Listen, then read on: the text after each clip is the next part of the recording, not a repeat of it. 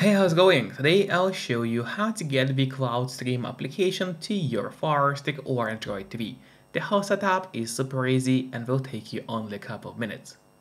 First of all, you'll have to get an app called Downloader. You can actually get it for free from the official Amazon App Store.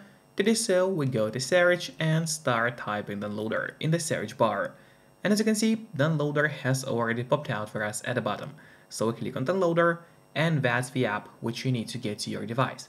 But after you get the loader, it's not over yet. We still have to set it up.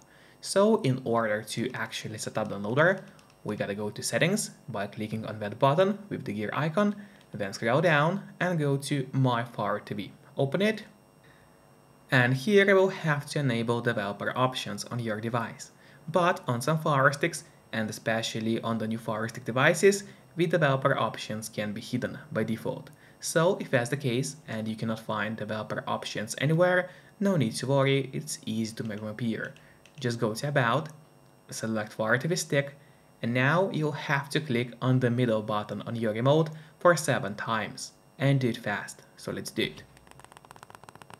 As you can see, now at the bottom for me it says no need, you are already a developer. That's in my case and in your case it's going to say that you have become a developer now. So if you go back, you will finally see developer options. Open them, make sure to turn on the ADB debugging, then go to install known apps. From here, you have to locate downloader and turn that option on. So what it does is going to allow you to install other applications from the internet and not necessarily only those apps which are only available in the official Amazon App Store by default. And that's exactly what we're going to do right now. So now finally, let's go to the list of apps on your device, which is right here. Let's open it. And here you'll find the loader, which is set up and ready to use on your device. But before actually using the loader, there's one more thing which I always recommend doing. It's of course connecting to a VPN. In my case, I mostly use NordVPN because they're super fast, we got a great app for Fire Android TVs, phones, laptops, or pretty much any other device you may use. And they're not expensive for such a premium service. In fact, they cost less than a cup of coffee per month, which is great pricing for us, the users. In the VPN app, you just connect to any server. Let's say I will connect to Germany right now. And from the moment you connect, all your traffic is going to be totally encrypted. It means no one can track you or snoop on you online. And that's really important if you want to stay out of trouble. And if you don't have a VPN yet, but you want to try it out, I do have a great offer for you. If you use my link, which will be in the pinned comment below the video, or in the description of the video, you'll get 3 months of NordVPN totally for free, which is an amazing offer. And if you're watching this video on your TV or on your Fire Stick, then just grab your phone or your computer, open up a web browser and go to topvpnoffer.com. That's my website, which is going to give you the same amazing deal for NordVPN with 3 months for free. Or just scan the QR code, which you can see on the screen right now, with the camera of your phone. It works the same way and it's also going to give you the same deal for Nord. And now, finally, let's use Downloader safely. So open up Downloader application.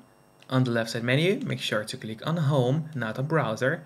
So click on Home, and then here in the search bar, we'll need to enter a code, which is going to be 2890 and 7. So once again, the code is 28907.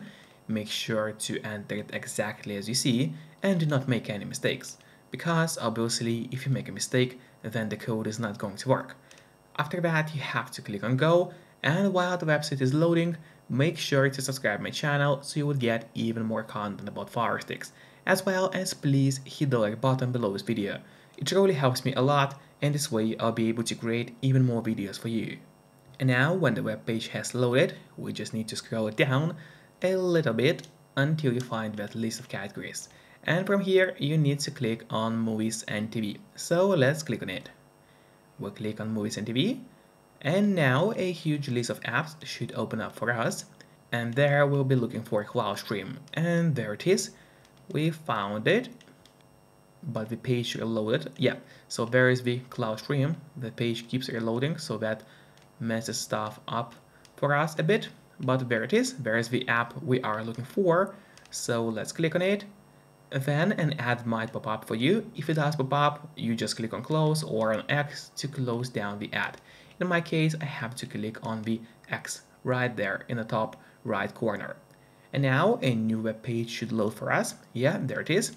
So we need to scroll it down as well until we find that little download button right here.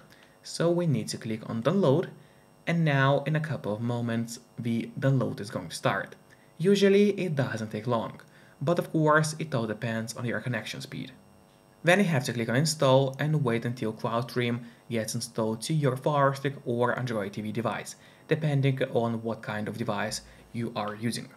And after that, don't click on open yet, instead press on done, because this way we'll be able to delete the installation files, as we don't need them anymore on our device. So click on delete and then delete once again. This way, we get rid of unnecessary files from your Fire Stick and save yourself some free space on your device. And that's really important, because you don't have too much of free space on your Fire Stick anyway. Now, finally, we gotta go to the list of apps on your device, which is right here, open it, and there at the bottom you'll find CloudStream, which we just downloaded.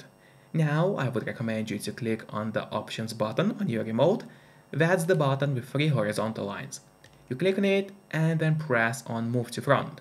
This way, CloudStream is always going to be at the very top of your application list and therefore it's going to be super easy for you to access the app every time you need it. Just don't forget to keep the VPN connected to stay safe and out of trouble. Enjoy and see you next time. Bye bye.